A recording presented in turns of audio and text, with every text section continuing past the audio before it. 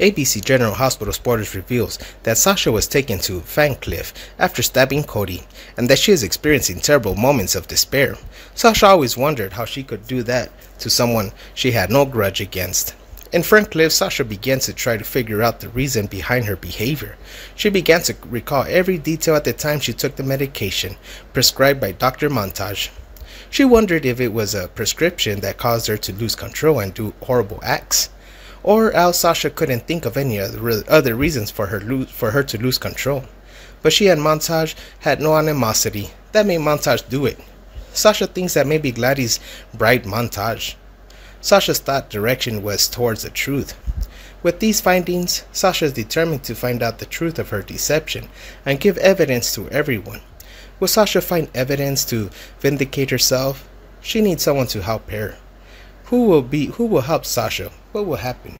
Meanwhile, Sonny visits Sasha in prison, and the two sit down to discuss the problem she is facing. Sasha tells Sonny about her suspicions regarding Gladys and Dr. Montag. She believes that they might have conspired to harm her, add drugs to make her lose control, and do something she didn't want to do. Sonny listens to Sasha's doubts and sees that Sasha's suspicions are reasonable, and he agrees to help Sasha. Sasha feels grateful by Sonny's promise. She understands that he is always ready to face any difficulties to protect and help her. Sasha feels relieved knowing that Sonny is by her side to support her. With Sonny by her side to help, Sasha will definitely not give up before finding the truth and vindicate himself.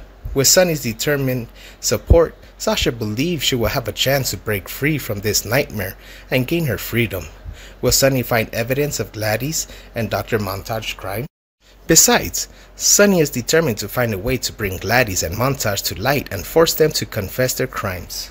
He knows that evil methods must be used, but it is part of the necessary to ensure that truth is revealed and to protect Sasha from this harm.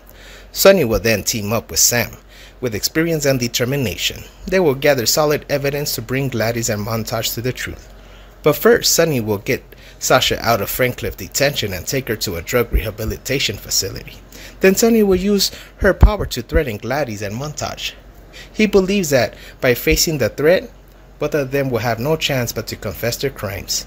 Sonny is determined to make sure Sasha is free and safe, while also teaching lesson to those who want her.